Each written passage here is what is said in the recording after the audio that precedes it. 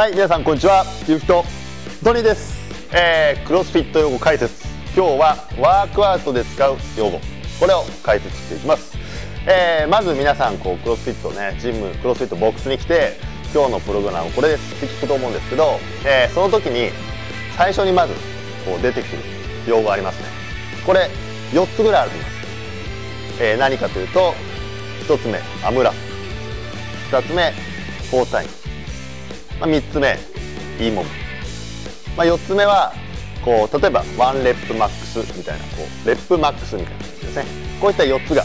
あると思います。じゃあこの4つ一個一個説明してみます。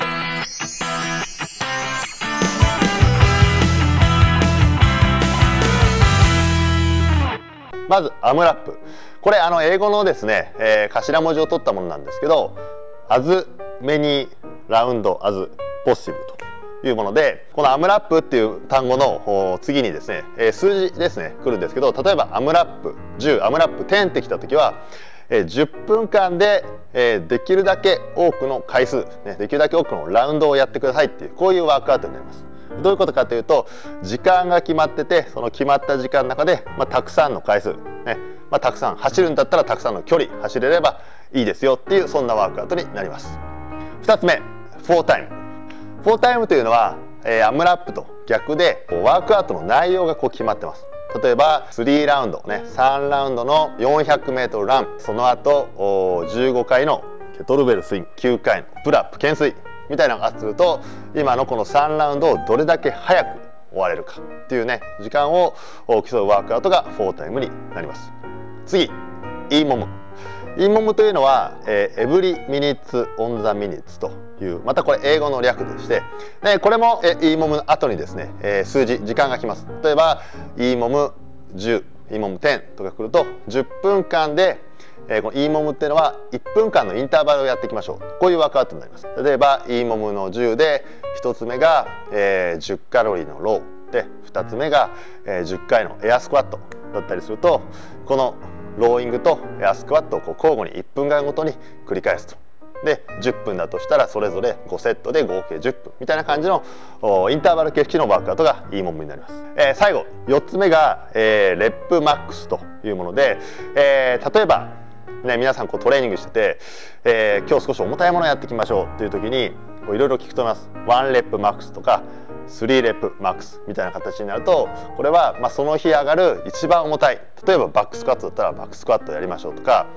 例えば3レップマックスのスナッチやりましょうだったら3回上がるスナッチの重さこれをやっていきましょうみたいな感じで、えー、どれだけ重たい重さが上がるかというワークアウトもあります。ね、主にクロスフィットこういった4つのワークアウトをやっていきますね。ここからまずワークアウトの種類になります。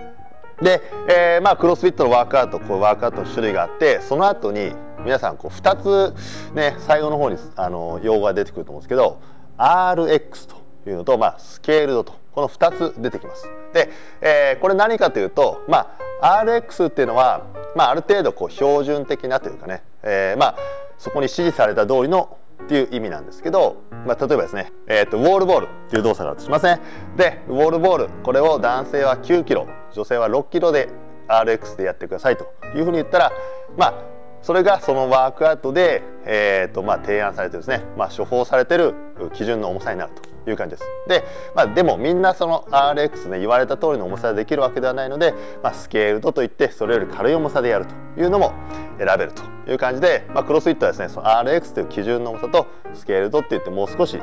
えー、調整した重さとか回数とかそういった感じで、えーと、みんな、えーと、調整してみんなができるようにするそんな仕組みがあります。で、えーとまあ、少し例外なんですけども、まあ、RX プラスというこんな用語も出てきます。これはあのまあね一般的なクラスの中だとみんな RX っていう形で、えー、そこを目指してやるんですけど、まあ、たまにすごくねこう強い人だったりだとか、まあ、大会に出るような人なんかだと RX よりもさらにね、強度の高いものでやったりするので、まあ、そういった人向けに RX プラスなんかで、えー、記載してですね、えー、少し高強度でやってもらう。そんな場合もあります。はい。でまあ最後ですね。ちょっとこれおまけなんですけどクロスフィットのワークアウトにはまあ有名なワークアウトですね。名前が付いたワークアウトがあります。これまあ2つあって、えー、ガールズワークアウトというのと、まあ、ヒーローワークアウトというもの2つがあります。まあこれあの何かというと海外の方ってあの台風ハリケーン来るじゃないですかあれってあの名前が付いてるのをもしニュースで聞いたことあるかもしれないですけどあのカトリーナとかそういった名前が付いてるハリケーン聞いたことあると思うんですけど、まあ、それと一緒でこうなんかこう有名なワークアウトは名前を付けて覚えやすくすると。で世界中の人がみんなその名前を